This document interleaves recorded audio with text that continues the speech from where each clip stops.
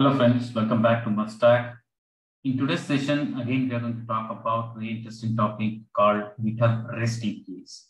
So this REST API is very useful when you are writing some script. Okay, so it can be a curl script or if you want to call these REST APIs from some other APIs.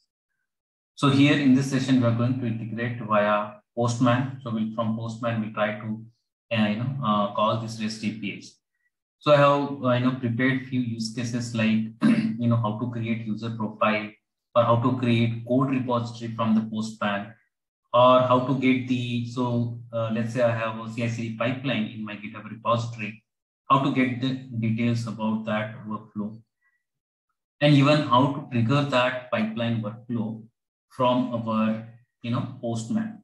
So let's see one by one. Okay, step by step, we we we execute these REST APIs and you know make some fruitful session. Okay, so let's jump on to the first step. So first step, we need to have the we need to have the personal access token. Okay, so let's go ahead and first create the personal access token. So you need to go to your so log into your GitHub account and go to settings.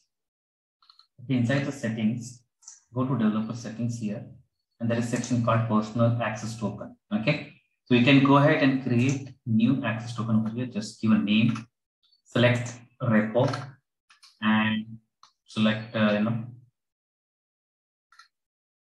you can say delete repo, okay, repo, or you can select all the options, no problem. And once you are done, you'll get a personal access token. So I already created okay. So let me go back one step. You can see here I have created GitHub uh, access token over here, and I have just selected, you know, repo and admin repo hook and delete repo. That's it. Okay. Let's go ahead. And so my once your personal access to, access token is ready, you can go ahead and explore this link. I anyway uh, you this link in the description below. But here all the REST API related, related information is available. Okay. So why we have created personal access token? Because we need personal access token for authentication. So Postman will be able to access this REST API with that token only. Okay. So let's jump onto the Postman now. Okay. So I have created a collection. Okay. Maybe I'll share this collection in the description or, you know, uh, I'll upload it in the drive and then you, know, you can take it from there. Okay. So let's go ahead and first look at the, the uh, details about the user profile. So you can see this is the REST API which we can use to get the details about the user, user profile. So git api.github.com users slash. So there are two REST APIs here. Okay, you can see all the user details. You can simply go ahead and run this. So I'll just show you. I'll just uh, create a duplicate for this duplicate. And here, let's do this first.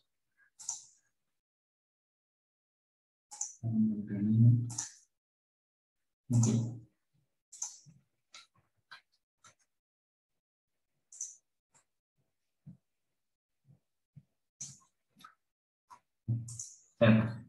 If I trigger it, you know, you will get all the users here. Okay, so right now I have only one user over there. So I'm able to see only one user. Okay. Now, if I wanted to go, go and see the specific user details, then user slash background, that means your user ID over here. Now you get it specific. Right now we're not able to see the difference because I have only single user over there in my GitHub account. So you wanted to get the details, in the header, you need to pass that token which you have created. So this is access token you have created from there. Okay. And pass the authorization header over here. Okay. So this is the first REST API we you know we explored. So get the users or user profile detail. Okay, you can pass a specific user, or if you want to see all the users, you can go ahead and do that. Second thing, what we'll do, we'll create a repo. Okay, so repository. So while creating repository, we will use the URL and post method. So this is simple URL. Under user, you just say repos. Okay. And in the post, you pass the body where you are passing the repository name Auto init, it will create a README file. We are seeing the scope, whether it's a public or private. So we are seeing private is equal to true. And git ignore file. So we are using template called nanoc. So this template will create git ignore file. Okay. So you can pass more parameters. You can pass descriptions. Uh, you know, instead of private, you can pass public. You can to make it uh, public. Okay. You can give here, you know, the uh, web page link and all that. But I have passed limited information here. Let's go ahead and trigger this. Okay. So you can see here. So now this save. So this repo has been created in my uh, code repository under this user. So let's see whether it's created or not. Let me go to my account here. And here if I just say user, okay, slash let's say blog. You can see here, I got a readme file, I got a git ignore file. These two files are created uh, because I have mentioned over there, I want, you know, these two files. Okay. And if you see, this is a private repository. You can create public with the same URL, just need to mention in the body properly your parameters. So this is second REST API we have stored now. Okay, so let me go back now. Let me go back to my Postman. Now, I want to trigger, you know, uh, you know, uh, first let's see what all repositories are available under your, you know, uh, just now we have created repository. Now the same URL, if I change the method from post to get, it will give all the repositories available under that user.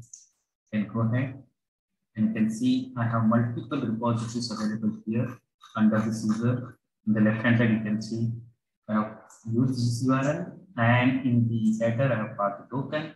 Inside body, uh, I have given the So, so body is not required here. Okay, since it's a get method. Since I'm duplicating, that's the body thing. Okay, so you don't need any body over here. Okay, and all the repos will be listed down here in the response. Okay, so this is the third REST page. Very useful to get the repository place. Now, let me show you how to trigger your you know, CI/CD pipeline workflow from Postman using REST API. So for that, we need to make some changes to your workflow. Let's go ahead and see that what changes will be. Let me go to first my um, so this is my repository. Okay, code repository where I have CI/CD pipeline workflow. Okay. So if you want to get a detail about this workflow, what we have done, so please follow my previous sessions. Okay, there I mentioned how to build the pipeline using GitHub Action, how to implement caching, how to upload the artifact, how to download the artifact, okay, how to share that artifact between two jobs. All those details I have given in the previous session. Here we are talking about how to trigger this flow manually, okay, or how to trigger this flow from some API. So if you see here, I have commented this part, okay. So this is a trigger I'm adding workflow dispatch event over here. And this workflow dispatch event make this workflow should not trigger manually, uh, should not trigger automatically, it should be triggered manually. Either you can go to actions here and trigger this flow. This flow from here, you can see that I'll show you. So this workflow has workflow underscore dispatch event trigger. You can go ahead and manually can trigger. I will not trigger manually from here.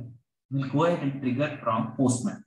Okay. So for that, I need to know the flow ID okay, of this, this workflow. So here you cannot find it easily, or maybe I'm not sure how to get it. From the postman, we'll get the details. Okay. So let's go ahead and get the detail about our workflow.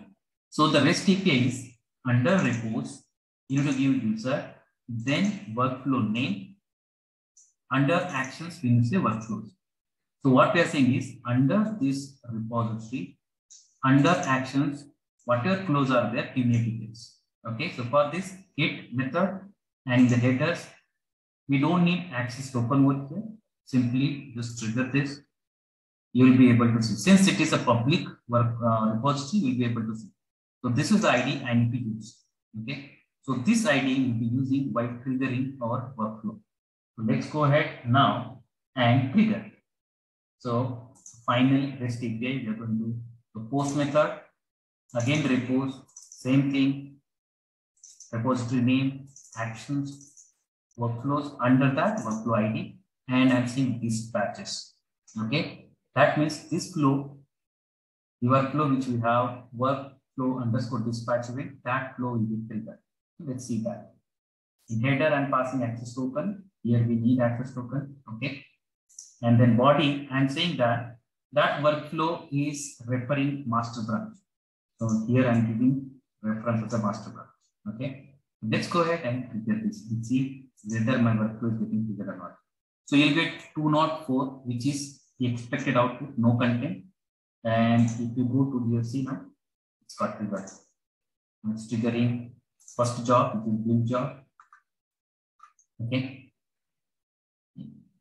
So that's the intention about triggering the flow manually from the postman. Okay. Yeah.